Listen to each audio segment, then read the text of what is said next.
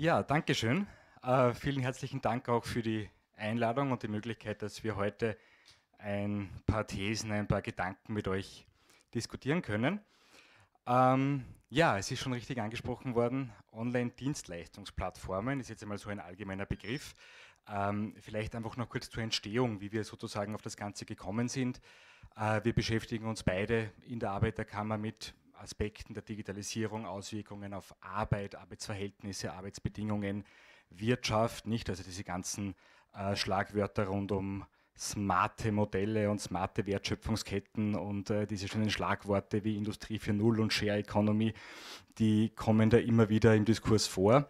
Und wir haben heuer uns äh, vor, na, eigentlich im letzten Jahr überlegt, rund um den Momentum-Kongress, uns einfach mal ein paar etablierte Online-Plattformen, die eigentlich nicht so richtig in diese Kategorien passen, anzusehen und uns anzusehen, wie man da vielleicht gemeinsame Thesen, gemeinsame Kategorien, gemeinsame Schlüsse aus der gemeinsamen Beschaffenheit äh, bestimmter ähm, Plattformen oder bestimmter Geschäftsmodelle ziehen kann und was die für Auswirkungen auf Arbeit haben und was da eventuell auch politische Ableitungen sein könnten. Und ähm, wir haben hier einige dieser Plattformen einmal äh, dargestellt. Ihr kennt sehr viele davon mit Sicherheit. Die einen kennen es von außen, die anderen kennen es von innen, je nachdem. Es sind äh, Plattformen, die leicht zugänglich sind ähm, und die alle in, in Österreich sozusagen, wenn man äh, in den sozialen Medien unterwegs ist, auch dementsprechend intensiv werben, auch sozusagen um Endverbraucher, Endverbraucherinnen werben. Und wir haben da wahlweise einige mal herausgenommen und uns einfach angeschaut, was sind so gemeinsame Strukturvariablen dieser Plattformen. Wir haben da beispielsweise mal jackrobin.com? Da geht es also um Paketmitnahmen, Paketbeförderung. Lass andere schreiben, das ist jetzt weniger sozusagen in Richtung Ghostwriting, sondern ganz stark auch in Richtung äh, Texten, Korrektur, Lektorate. Wir haben ähm, MyHammer als bekanntes Haushaltsdienstleistungsanbieter, äh, ähm, und dann noch äh, die beiden hier herum, Helpling, Jack Robin bzw. Äh, Clickworker. Vielleicht machst du auch noch. Äh, ja, Booker Tiger und Helpling haben äh, gemeinsam, dass sie beide Putzdienstleistungen vermitteln äh, und äh, Clickworker ist ein klassisches Beispiel für Crowdwork. Äh, darauf werden wir gleich noch zu sprechen kommen. Ähm, ganz kurz, was sind typische Kennzeichen oder Gemeinsamkeiten von, von den Arbeitsbeziehungen, die da neu entstehen? Es gibt nicht mehr Arbeitgeber und Arbeitnehmer, sondern ganz wesentlich dazwischen in Wahrheit die Plattform. Äh, das heißt, es gibt äh, einen, einen Auftrag, der einen Kunde, der äh, via Plattform ähm, versucht, Zugang zu einem Arbeitnehmer zu finden. Ähm, es gibt dann noch das, äh, den Spezialfall Crowdwork. Da ist es so, ähm, dass die Arbeit nicht nur digital vermittelt wird, sondern auch digital verrichtet wird. Das heißt, äh, große Aufträge ähm, werden in viele kleine Portionen gegliedert in sogenannte Mikrotasks und werden dann über eine Internetplattform an die Crowd, an eine Masse ausgeschrieben. Ähm, Auftraggeber und Auftragnehmer kommen dabei nie direkt in Kontakt. Die kennen sich nicht, die bleiben äh, anonym, weil die Kontaktdaten dazu nur die Plattform oder die Plattformbetreiber besitzen. Äh, die Arbeit selbst wird auch online erledigt äh, und diese Modelle äh, waren am Anfang kommen eher so aus dem Programmierbereich, das heißt aus einem sehr äh, internetaffinen Bereich. Mittlerweile ähm, sind sie für ganz viele verschiedene Branchen, wo sie angewendet werden. Das größte Beispiel kennt Sie wahrscheinlich äh, bei Amazon, Amazon Mechanical Turk. Das sind heute, äh, die geben selber an, um die 500.000 äh, Crowdworker zu haben, äh, die in den USA für sie arbeiten. Ähm, mittlerweile haben sich die auch schon organisiert. Ähm, es ist nämlich so, dass äh, für diese Mikrotasks äh, keine besonders hohen Löhne gezahlt werden, sondern äh, also weniger Centbeiträge. So ein klassischer Mikrotask ist zum Beispiel ähm, jene Arbeit, die der Computer, wo der Computer noch nicht schlau genug ist, sie zu, äh, zu erledigen, Plattencover bewerten, ob die jugendfrei sind oder nicht. Das kann der Computer nicht. Dafür braucht man einen Crowdworker. Die werden aber nicht angestellt, sondern pro Klick bezahlt. Pro bewerteten Ka äh, Plattencover, jugendfrei oder nicht, wird ein 0,05 Cent Betrag zum Beispiel bezahlt. Ähm, es gibt dabei aber ganz unterschiedliche Vergütungsmodelle, das heißt, es wird nicht immer pro Glück bezahlt, manchmal gibt es auch Wettbewerbsmodelle, das heißt, es werden diese kleinen Tasks aufgeschrieben, zum Beispiel programmiere einen minimal kleinen Teil von einem Programm, äh, wer das am schnellsten oder am besten erledigt, kriegt das Geld, alle anderen kriegen es nicht. Ähm, und was auch sehr äh, interessant für uns als äh, Arbeitnehmervertretung natürlich ist, es gibt ja keine klassischen Arbeitsverträge, sondern in Wahrheit die AGBs werden unterzeichnet und mit dem Klick angenommen oder nicht, das soll in diesem Modell den Arbeitsvertrag äh, ersetzen. Was man natürlich dort merkt, ist, dass es einen extremen Konkurrenz- und Lohndruck gibt, äh, weil die, das Arbeitskräftepotenzial fast schier unendlich ist. Nicht jeder, der einen Internetzugang hat, kann potenziell dort arbeiten. Äh, und dass es de facto keine oder sehr wenig Mitbestimmungsrechte für Crowdworker gibt, wobei es auch da jetzt eben äh, Bewegungen gibt, die langsam anfangen zu versuchen, das zu ändern, zum Beispiel indem sie ein ganz klassisches äh, Mechanismen umdrehen, denn was auf all diesen Plattformen auch passiert, ist, dass die Crowdworker bewertet werden durch die Kunden. Und die drehen das jetzt um und sagen, ja, aber wir bewerten auch unsere Auftraggeber, basteln sich eigene Plattformen, bezahlt er verlässlich oder nicht, äh, wie viel, mit wie viel Geld kann man da rechnen und so weiter. Das heißt, da ist auch ein bisschen Selbstorganisation schon in Bewegung. Ja, wenn man sich die Plattformen anschaut, die wir zu Beginn gezeigt haben, dann sieht man eigentlich sehr, sehr schnell, äh, das ist was anderes. Ne? Also es geht nicht um das Verrichten von Arbeit online, es geht schon sozusagen am Ende, Ende, am Ende des Tages um das Verrichten von konkreter Arbeit im Hier und Jetzt. Und sehr viele Plattformen sind auch äh, rund um diese Wolke, sage ich immer, Begriffswolke der Shared Economy äh, positioniert. Wobei man da auch sagen muss, ähm, das trifft wohl nicht so ganz äh, des Pudels Kern, denn wenn man sich anschaut, was, was Share Economy bedeutet, nicht? Also das sind sehr positive Assoziationen, da denkt man an Teilen, da denkt man an Ressourcenschonung, ähm, da denkt man so ein bisschen an Empathie, ja, also so die Idee, die wir von Teilen haben, ist irgendwie auch so in unserer Kultur geprägt vom, vom heiligen Martin, der dann den, den Mantel teilt. Ähm, das gibt es natürlich, ne? das kennt ihr alle, es gibt Plattformen, auf denen echt geteilt wird, kein Thema. Ähm, wenn man sich aber anschaut, sehr viele Plattformen, die im Kontext dieser Shared Economy auftreten und auch von politischer Stelle oft so bezeichnet werden, dann wird das sehr wenig geteilt. Ne? Also wenn wir uns ganz bekannt anschauen, äh, bei Airbnb wird nichts geteilt, da wird vermietet. Ja, bei Uber wird nicht geteilt, da werden ganz einfach Personenbeförderungen ähm, vermittelt und dann letztendlich auch durchgeführt. Natürlich gäbe es auch die Möglichkeit, Dienstleistungen zu sharen. Ja, absolut kein Thema. Das wären absolut spannende Möglichkeiten und auch die gibt es im Sinne der Nachbarschaftshilfe. Also zu sagen, äh, ich koche bei dir zu Hause und du reinigst dafür bei mir zu Hause oder äh, passt auf die Kinder auf oder was auch immer, wären natürlich alles denkbare Möglichkeiten, wo es natürlich um eine, um, eine, um eine Ressourceneffizienz auch ginge, die sicherlich sehr positiv sein kann.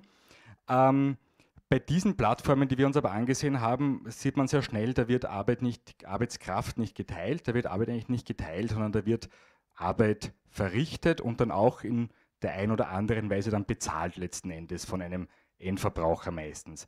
Es hat dann die ähm, neben dem Begriff des Crowdwork auch noch einige Begriffe gegeben, die die Dublin Foundation, also Eurofund, im letzten Jahr publiziert hat, wo sie gesagt haben, das sind neue Formen von Arbeit. Muss man sagen, so neu sind sie gar nicht, aber die natürlich durch äh, die Entwicklung in der Gesellschaft, wo wir immer schneller, immer weiter zu immer geringeren Grenzkosten kommunizieren, dynamischer werden und leichter möglich und zugänglich werden. Das wäre einerseits der Bereich Casual Work, wo man also sagt, das ist eigentlich Arbeit, die gar nicht als Arbeit wahrgenommen wird, sondern eher so in Form eben von Nachbarschaftshilfe. Oder Collaborative Work, wo also verschiedene Auftraggeber für einen gemeinsamen Abnehmer arbeiten oder auch vice versa. Ähm, ist ganz spannend, da sieht die Dublin Foundation auch in diesem Bericht immer eine Plattform dazwischen, die nennen sie, das ist ganz lustig, äh, Umbrella Company. Also ich bin mir nicht ganz sicher, ob es da eine eine diskursive, bewusste Verbindung zu Resident Evil gegeben hat, aber man hat sie zumindest so genannt. Und ähm, was eigentlich äh, die Share Economy oder das, was oft im breiten politischen Diskurs als Share Economy bezeichnet wird, gemeinsam hat, ist eigentlich seltener das Teilen, sondern vielmehr, dass es da äh, einerseits klar um Produkte, aber in diesem konkreten Fall auch um Arbeit und Dienstleistungen geht, die online vermittelt wird, die über eine Plattform vermittelt wird, also ich gemeinsam einen dritten Betreiber habe, eine dritte Kraft, die immer stark von Netzwerkeffekten profitieren ja, und deren Geschäftsmodelle letzten Endes auf Netzwerkeffekten basieren. Denn äh, es ist ja nichts Neues, Mitfahrbörsen hat es immer schon gegeben, nur am schwarzen Brett am Institut habe ich halt nicht so viele Menschen erreicht wie in der Cloud sozusagen. Und ähm, auf Basis dessen haben wir eigentlich gefunden, okay, für diese Vermittlungsplattformen gibt es eigentlich jetzt nicht so richtig im, einen begrifflichen eine trennscharfe begriffliche Abgrenzung. Und haben dann einfach begonnen, okay, schauen wir uns einfach einmal einige, die in Österreich schon gut etabliert sind oder waren, muss man jetzt sagen, aber die zumindest, die zumindest aufgetreten sind, an.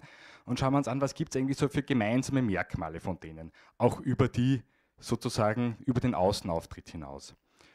Ähm, und unser Interesse war, uns einmal anzuschauen, naja, wer steht eigentlich hinter diesen Plattformen? Also es gibt natürlich tausende Plattformen, die tatsächlich als Startups von Einzelpersonen betrieben werden oder kollaborativ betrieben werden, aber bei denen, die sozusagen auch ordentlich Geld in die Werbung reinbuttern, ja, wer steht da dahinter?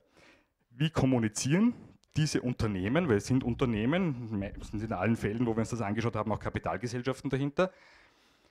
Was ist eigentlich Ihre Rolle? Also wie definieren Sie selbst Ihre Rolle? Worauf bauen Sie Ihr Geschäftsmodell auf? Und was ist eigentlich äh, rund um Preis und Leistung die vertragliche Ausgestaltung? Also welche vertragliche Leistung geben die vor? Und da ist gleich einmal der erste Punkt, da habe ich jetzt mal nur drei bekannte Beispiele, die sozusagen relativ leicht zugänglich sind. Ähm, da sieht man eigentlich recht schnell, ja, es gut möglich, dass das noch vor wenigen Jahren Startups waren, mit, mit, wo sozusagen Einzelunternehmer und Selbstständige dahinter gestanden sind. Es sind aber mittlerweile sehr viele einfach äh, schon einen Schritt weiter und sind halt größere Kapitalgesellschaften mit durchaus prominenten Kapitalgebern im Hintergrund. Jack Robin, die also in Österreich mit Paketmitnahme äh, sozusagen auf den Markt dringen, hat zwei ganz prominente Eigentümer, wenn man da im Firmenbuch nachschaut.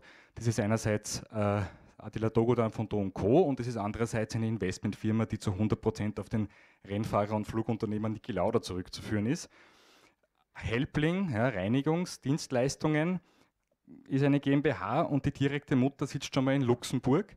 Und dahinter, wenn man weiter recherchiert, steht das äh, Unternehmen Rocket Internet, das eben in Internetfirmen investiert. Mittlerweile laut Eigenangaben 3,1 Milliarden Euro Portfoliowert angibt und wo auch noch neben Helpling auch andere bekannte Unternehmen im Portfolio sind, unter anderem schon auch äh, das größere Unternehmen Salando, das kleinere Unternehmen HelloFresh, das wären so bekannte äh, Unternehmen, die man da im, äh, im Portfolio hat. MyHammer, auch recht bekannt, die, das, äh, der Eigentümer dahinter ist es nicht so bekannt, die Verlagsgruppe Georg von Holzbrink, aber ähm, das kennt man dann, wenn man sich die Marken anschaut. Also Kippenheurer-Witsch, Rowold sind Verlage, ne, das ist so eher im sage ich jetzt einmal High-Level-Bereich. Äh, Spotlight kennen vielleicht noch einige aus der Schulzeit. Das waren diese fremdsprachigen Freizeithefte. Ja? Das hat irgendwie Spotlight, weil das Englische, dann äh, Écoute war, glaube ich, das Französische, Adesso das Italienische. Diese, also man sieht sozusagen, da gibt es durchaus gebündelt dahinter Eigentümer, die dementsprechend die Portfolios auch aufweisen. Ja, ähm, die zweite These, auf die wir recht schnell gestoßen sind, ähm, ist, was die, äh, die Plattformen meiden, wie der Teufel das Weihwasser, ist der Begriff Arbeit äh, und der Begriff äh, arbeitende Menschen oder Arbeitnehmer. Ähm, weil sie wollen ja nicht in eine Situation kommen, wo sie mehr als Vermittler sind. Was machen sie also? Sie, sie werden sehr kreativ äh, und sie erfinden neue Namen, die sie den Menschen geben, die für sie arbeiten. Äh, zum Beispiel bei Helpling, das sind dann die Helplinge. Bei Booker Tiger nennen sie die Leute, die da für sie putzen, Tiger. Es gibt dann auch ein schönes Werbevideo, wo geworben wird mit dem Originalzitat, Tiger sind sehr reinliche Katzen. Ähm, das heißt, ähm, da werden äh, ist, schöne Metapher auch. Ähm, oder Sie sprechen von Professionals, bei Jack Robin von Mitnehmern. Handwerker ist noch das arbeitsähnlichste äh, Wort, auf das wir gestoßen sind, von Privaten und von Nutzern. Also aber niemand, niemals wird dort von Arbeit oder von Arbeitnehmern gesprochen. Äh, ja, und das Zweite, der Michael hat schon ein bisschen angerissen, äh, Sharing is Caring. Ähm, alle diese Plattformen preisen sich auch damit, dass sie jetzt gar nicht in erster Linie für den Profit von irgendwem arbeiten, sondern für das große Gute. Äh, bei Jack Robin geht es natürlich vor allem darum, dass kein Platz oder Geld verschwendet wird. Das ist das, ein zentrales Werbeversprechen. Bei Booker Tiger wird damit geworben, ähm, das also ist ganz wichtig, dass beiderseitige Interessen äh, vertreten werden. Äh, Helpling zum Beispiel heftet sich auf die Schwa Fahnen, Schwarzarbeit zu bekämpfen. Also es ist ganz wichtig, offenbar im Werbeauftritt dieser Unternehmen ihre soziale Verantwortung äh, zu betonen. Ähm, ja, was, was passiert durch, diese, ähm, durch dieses Bestehen auf der Vermittlerrolle statt dem Arbeitgeber, ist natürlich ein Rückzug aus den bekannten Rollen ähm, und damit auch aus, äh, aus einer Verantwortung. Ähm, sie in der Eigenbeschreibung äh, beschreiben Sie sich ja auch nicht als Unternehmen, sondern als Marktplatz. Das heißt, da trifft Angebot und Nachfrage, da trifft äh, der Sucher von einer Reinigungskraft und die Reinigungskraft zufällig zusammen und Sie sind einfach nur Vermittler. Das ist halt dann insofern ein Widerspruch, weil zum Beispiel äh, dort durchaus mit Fixpreisen geworben wird. Also bei Helpling zum Beispiel ist klar, es gibt einen Online-Rechner, da kann ich mir ausrechnen, meine Wohnung ist 40 Quadratmeter, ich habe zwei Zimmer, ähm, ich wohne dort und dort und dann spuckt mir die, der Algorithmus einen Preis aus, den ich für die zu erwartende Zeit zahlen muss. Ähm, und das steht halt dann ein bisschen im Widerspruch äh, mit der Selbstcharakterisierung als reiner Marktplatz.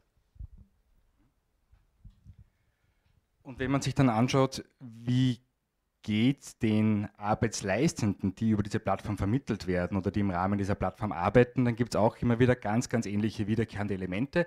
Das eine ist das Rating, das Bewerten, aber immer das Einseitige. Nicht so wie wir es bei eBay kennen, wo sozusagen beide Seiten sich gegenseitig beurteilen, sondern die Person, an die die Plattform gerichtet ist, ein Endverbraucher, ratet dann.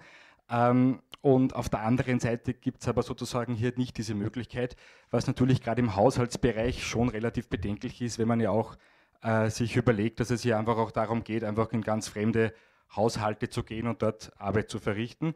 Und das ist bis zu einem gewissen Grad nichts Neues, aber man muss es schon, glaube ich, immer wieder auch herausheben. Ähm, es gibt keinerlei Umgang mit bestimmten Errungenschaften, sage ich jetzt mal, der Arbeitnehmerinnenbewegung. Äh, die kommen einfach schlichtweg nicht vor. Und in den FAQs, wenn man schaut, bin ich da versichert, muss ich Steuern zahlen, da wird in den meisten Fällen ganz einfach relativ lapidar mit dem Verweis auf Finanzämter, Steuerberater und die Sozialversicherung oder die Gebietskrankenkasse gearbeitet. Also das kommt schlichtweg sozusagen im Modell nicht vor. Ja? Also obwohl man sozusagen in vielen Bereichen mit sozialer Verantwortung wirbt und mit ökologischer Verantwortung, werden diese Themen schlichtweg nicht angesprochen. Das war so der Versuch, das ein bisschen zu strukturieren und vielleicht zu einem gemeinsamen politischen Rahmen auch zu bringen, wo man dann auch Ableitungen treffen kann. Und ich glaube, ganz wesentlich ist es, dass man hier diskursiv trennt und auch sagt, ja, es gibt die Sharing Economy, ja, es gibt Teilen, aber es gibt auch Plattformen, wo es nicht um Teilen geht, sondern wo es schlichtweg um Arbeit geht. Arbeit ist sozusagen das zentrale Moment, worauf diese Geschäftsmodelle, diese Plattformen basieren. Warum ist das so wichtig? Ich glaube sozusagen, dass wir in vielen Diskussionen hier schon recht weit sind und ich glaube, dass es für uns alle recht klar ist, dass da letztendlich Arbeitsleistung dahinter steckt. Äh, wenn man sich aber beispielsweise die Debatte auf Brüsseler Ebene anschaut, also wir haben da versucht, die Kommission noch einmal stilistisch darzustellen, dann hat die erst kürzlich eine Binnenmarktmitteilung herausgegeben, wo drinnen steht, ähm, dass es in der partizipativen Wirtschaft oder in der Collaborative Economy, das ist dann der Überbegriff sozusagen für Plattformen und für das, was andere vielleicht jetzt ein bisschen kritischer Plattformkapitalismus nennen würden, um eines geht, nämlich um mehr Chancen für Unternehmen und Verbraucher. Jetzt ist es ja relativ ein schönes Bild, dass sowohl Unternehmen und Verbraucher äh, mehr bessere Chancen haben ähm, wenn man eben da nicht sozusagen eine dritte Gruppe vergessen würde, die dann doch relativ zentral am Wertschöpfungsprozess beteiligt ist. Und darum, glaube ich, geht es auch darum, dieses Arbeit ja, einfach einmal in den Vordergrund zu stellen, auf der politischen Debatte auch wirklich zu positionieren. Denn letzten Endes geht es um, um alte Kämpfe in neuen Gewändern. Also es ist alles nichts Neues. Ja. Prekarisierungstendenzen sind nichts Neues. Ähm, prekäres Arbeiten ist nichts Neues, aber es kommt diskursiv sozusagen über eine neue Linie. Ja? Und das ist sozusagen für Leute, die in der Szene sind, klar. Aber wenn man nach wenn man sozusagen außen, nach außen hin mit bestimmten Begriffen hantiert und kommuniziert, ist es so schnell nicht mehr klar, was sich dahinter eigentlich auch versteckt. Und gleichzeitig muss man, glaube ich, sehr wohl diese Begriffsdebatten führen, muss aber aufpassen, dass man auch die Gemeinsamkeiten nachher kennt. Weil wir haben vorher gesprochen von Crowdworking, von Collaborative Working, von Casual Working. Da gibt es eine breite, sozusagen jetzt wissenschaftliche Debatte darüber, wie das arbeitsrechtlich zu bewerten ist.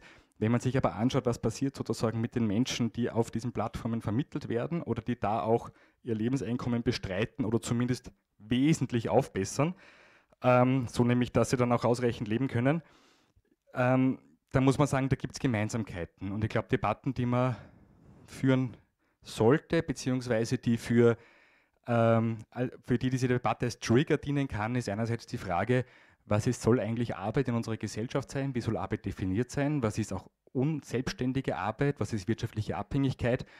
und auch so ein wenig die Frage, äh, wer kann wie viel zu Solidarsystemen beitragen. Ja, das ist, glaube ich, heute schon so, dass wenn man sich äh, der Selbstständige und die Versicherung anschaut, dass da von einer kleinen Gruppe so eine relativ große Belastung passiert äh, und von anderen, die heute ihre Geschäftsmodelle darauf aufbauen, dass sie niemanden beschäftigen, sondern nur vermitteln, relativ wenig, wenn man bedenkt, dass das Eintrittsticket für unser Solidarsystem irgendwie dann die selbstständige, unselbstständige formelle Arbeit ist und die Finanzierung auch über die Lohnsumme größtenteils passiert. Und ich glaube, das sind so politische Debatten, die man darauf aufbauen kann. Und ähm, von unserer Seite eben so der Versuch, das ein bisschen zu klassifizieren. Und wir freuen uns sehr auf die Diskussion.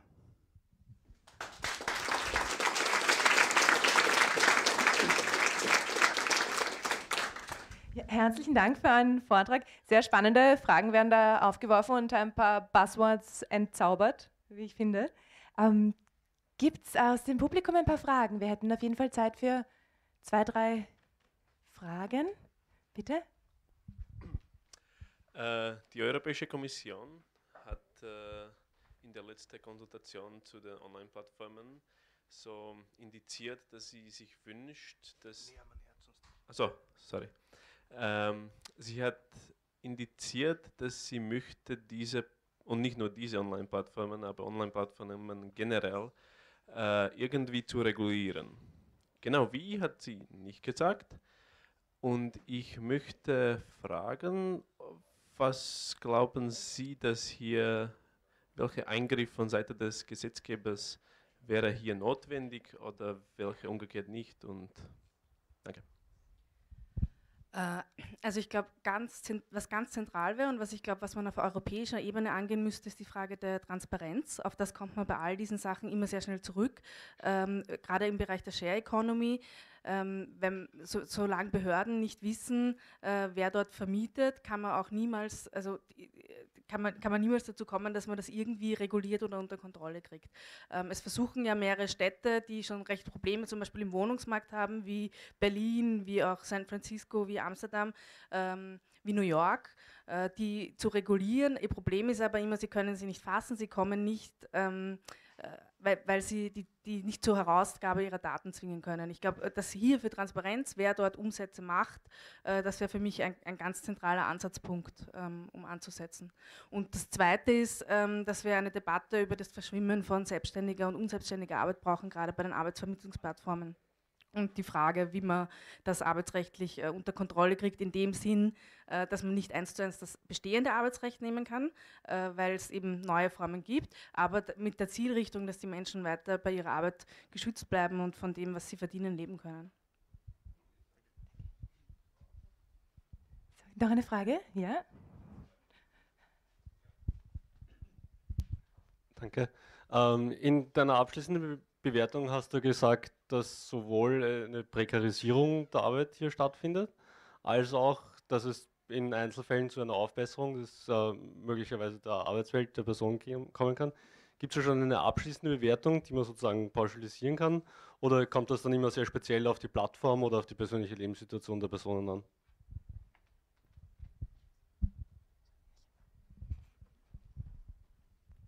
Ja, danke ich glaube, abschließend kann man das in keinster Weise bewerten bis jetzt. Das ist sozusagen eine erste, ein erstes Vortasten sozusagen auch auf eine, auf eine regulatorische Ebene. Es ist nur so, ähm, in den USA, wo es sozusagen gerade im klassischen Crowdworking-Bereich auch schon sehr gute organisierte und selbstorganisierte Interessenvertretungen gibt. Ja, also Turk Opticon oder, oder uh, Turk Nation bei eben Amazon Mechanical Turk, da weiß man dann schon, dass ähm, 60 Prozent der, die dann auf die Befragungen reagieren, ja, ähm, überwiegend diese Plattform auch nutzen, um ihren Lebensunterhalt zu bestreiten. Ja. Und ich glaube, darum geht es letzten Endes. Also wenn das überwiegend so ist, dass es nicht nur ein bisschen ein Dazuverdienen ist, sondern schon auch wirklich was Lebensrealitäten Relevantes ist, dann muss man sich auch überlegen, wie man sozusagen damit umgeht und wie man da vielleicht auch äh, ja, Solidarsysteme finanziert und, und, und den Arbeitsbegriff vielleicht stärker auch an, an gewissen Formen der Abhängigkeit aufhängt. Aber abschließend bewerten, ich meine, wenn man jetzt hernimmt, die Plattform Helpling spricht in Deutschland von 10.000 Personen, die einmal in ihrem Vermittlungsstand sind. Jetzt kann man in Österreich runterrechnen, vielleicht ein Zehntel davon, ja, dann ist es sozusagen jetzt bei der, bei der tatsächlichen Vermittlungs, äh, bei der, sozusagen im, im Bereich des, des, äh, der Haushaltsdienstleistungen noch kein Massenphänomen, wenn man vergleicht, was sozusagen bei klassischen äh, Reinigungsdienstleistungen noch da ein Personenstand ist. Aber ich glaube, man muss da sehr wachsam sein, weil diese Entwicklungen natürlich sehr dynamisch sein können ganz kurz nur ergänzen, ich glaube, man muss es auch wirklich differenziert betrachten, äh, weil äh, du schon recht hast mit verschiedenen Lebenssituationen. Man hat auch zum Beispiel gesehen in der, in der Krise in den USA, dass das total zugenommen hat auf Amazon Mechanical Turk, dass es für Leute mit Behinderung oder mit Leuten mit Kindern auch sozusagen eine Möglichkeit ist, in den Arbeitsmarkt reinzukommen. Äh, das heißt, wir sind jetzt auch nicht so, dass wir sagen, das ist alles des Teufels, wir wollen Crowdwork verbieten, äh, in keinster Weise. Wir wollen nur, dass, es, dass man Regeln findet, die man sich ausmacht, äh, dass die Spielregeln dann einfach auch fair sind. Danke. Oh, ich sehe, da gab es noch viele Fragen. Wir haben jetzt insgesamt noch eins, zwei, drei Fragen gehabt. Machen wir noch, ja? Spannende Diskussion. Du warst als Erster, gell? Danke. Hallo. Mich würde interessieren, ihr habt es angerissen, dass das auf der EU gerade in der Regulierungsphase ist. Wer ist denn da jetzt alle involviert äh, auf der politischen Ebene? Oder die, die wichtigsten Spieler, die, weil es hört sich nach einem sehr Querschnittsthema an. Wir haben leider heute nur ein Mikro, deswegen dauert das ein bisschen. Also auf der europäischen Ebene kann man mal sagen, es gab von der Europäischen Kommission schon mal eine Mitteilung zu dem Thema. Das ist zumindest eine gemeinsame Position, wo man Fragen aufwirft. Die Kommission hat auch angekündigt, glaube ich, für März oder April einen ersten Vorschlag, was da auf europäischer Ebene zu regeln wäre. Sind wir sehr gespannt, aber das ist sozusagen auf, auf vielen Ebenen passiert da was. Man muss auch sagen, dass die Stadt Wien beispielsweise schon mit einigen Konferenzen ähm, auch öffentlich aufgetreten ist und sich hier auch überlegt, äh, wie gehen wir als Stadt eigentlich damit um. Ja, ähm, ich, ich, soweit ich informiert bin, soll es da auch relativ bald mal sozusagen auch konkrete ähm, Entwürfe geben und das, was wir versuchen, also auf, auf, auf äh, der Ebene der österreichischen Bundespolitik gibt es mehrere Prozesse sozusagen, wo man jetzt mal beginnt, unter verschiedenen Schlagworten über diese Themen nachzudenken.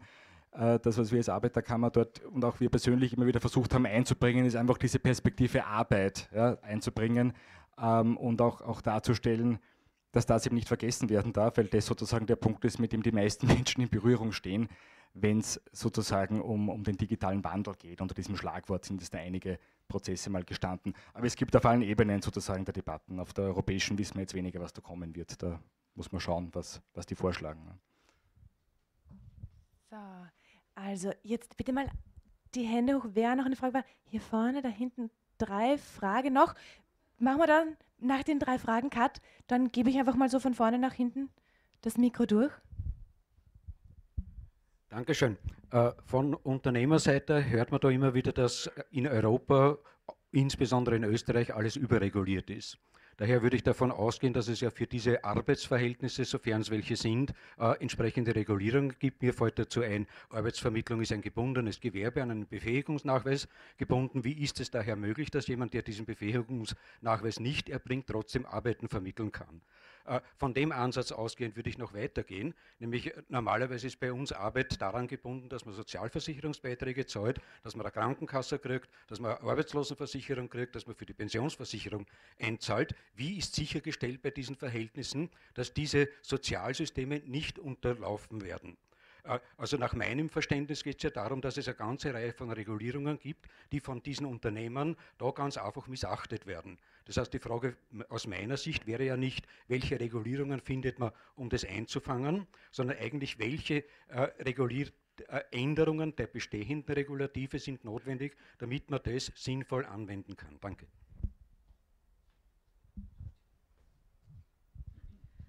Ja, dem kann man im Wesentlichen zustimmen. Ähm, es ist halt so, dass äh, im Moment gibt es einmal die Praxis, ähm, ich glaube, erstens ist es umstritten, ist es ein Arbeitsverhältnis oder nicht. Wir sehen, es ist ein Arbeitsverhältnis, wenn wir von Crowdwork sprechen. Die Plattformbetreiber sehen das ja nicht. Das muss äh, juristisch ausjudiziert werden, das ist es noch nicht. Äh, auch Arbeitsrechtler sagen, sie können das im Moment noch nicht bewerten. Wir, wir haben unsere Thesen und Meinungen, die wir gerade versuchen zu bilden, auch äh, in einer grenzübergreifenden Kooperation gemeinsam mit den, mit den deutschen Gewerkschaften. Ähm, aber man steht am Anfang und man wird, man wird äh, ausfechten müssen. Aber ja, ähm, sozusagen äh, von der Zielrichtung äh, gebe ich dir recht, es, geht, es sind äh, die Problematik, wir müssen nur die, die Instrumente schärfen und anpassen, damit wir diese Rechte wieder durchsetzen können und eben nicht erlauben, dass solche Geschäftsmodelle entstehen, die darauf basieren, dass sie Sozialstandards umgehen im Wesentlichen.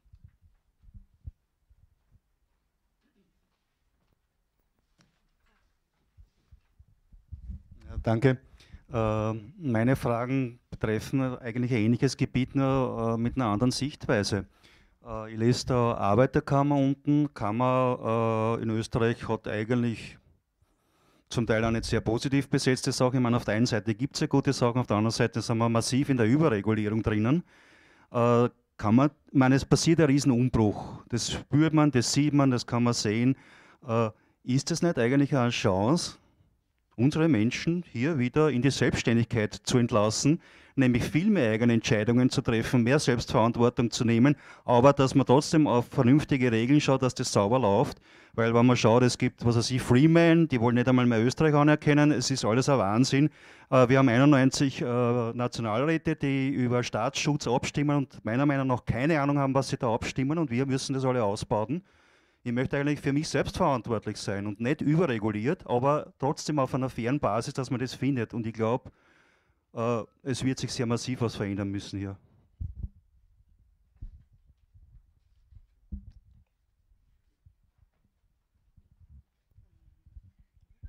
Ähm, ja, also sozusagen, da muss man jetzt, glaube ich, ein bisschen trennen, sozusagen der, der, der, die, äh, eine Politikverdrossenheit oder sozusagen grundlegend eine Kritik ans, ans, ans, System, auf die mag ich jetzt nicht einkommen, die eingehen, aber auf die Frage ähm, sozusagen äh, Leuten die Möglichkeit geben, selbstständig zu sein, ja natürlich. Ähm, aber was auch spannend ist, wenn man es gibt schon erste qualitative Befragungen, zum Beispiel von Crowdworkern, und da gibt es wieder auch eine große äh, Differenzierung. Es gibt durchaus einige, zum Beispiel im Design- und Layout-Bereich, die sagen, ja, das taugt ihnen mit den Wettbewerben, wenn sie da ihre Logos einreichen können, finden sie super. Aber die große Mehrheit, gerade von denen, die eher so im äh, gering qualifizierten Bereich arbeiten, äh, in dieser Crowdwork-Tätigkeit, die sagen selber, sie hätten lieber fixe Anstellungsverhältnisse. Und es wundert mich nicht, weil wenn man sich anschaut, was ein Stundenlohn zum Beispiel ist, auf den man kommen kann bei, bei Amazon durch diese Klickarbeit, dann liegt er weit unter dem amerikanischen Mindestlohn. Und da ist dann die Freiheit, die ich dadurch gewinne, ein bisschen dann doch wieder nur sozusagen eine Chimäre. Ne? Also faire Verhältnisse absolut. Ich glaube, das muss das gemeinsame Ziel sein.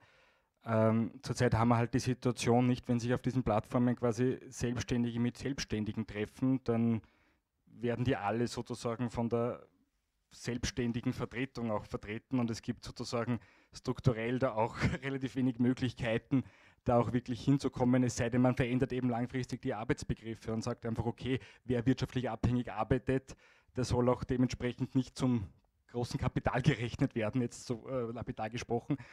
Und ich glaube auch, also mit, mit Selbstständigkeit ist, kann, kann, sehr viel Positives verbunden sein, ja, sozusagen, also der eigene Chef, die eigene Chefin sein, irgendwie Selbstentwicklung auch, äh, sozusagen die eigenbestimmte Arbeit. Na eben, genau, jetzt, wenn wir uns da anschauen, also da geht es um Reinigungsdienstleistungen, da geht es um Pakete mitnehmen. Ne? Also ich glaube sozusagen in diesem Bereich muss man fairerweise sagen, da, da trifft dieser, diese Vorstellung eher seltener. Und ich glaube, das sind auch die Leute, auf die man da wirklich sich schauen muss. So, und unsere letzte Frage.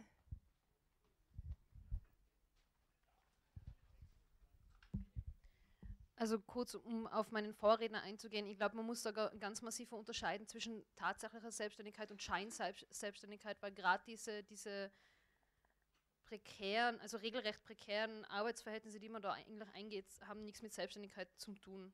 Und äh, das andere, auf was ich noch eingehen wollte, war, was du gesagt hast, ähm, mit den speziellen Personengruppen quasi, für die quasi der Arbeitsmarktzugang erleichtert wird dadurch.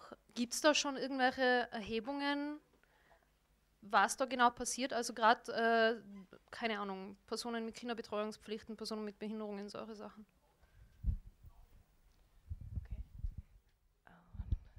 Eine kleine Ausnahme müssen wir einschieben. Nur eine Anschlussfrage, und zwar, es geht ja im Kern um selbstständige oder unselbstständige Arbeit. Gibt es irgendeine Positionierung von Gewerkschaften in dem Thema?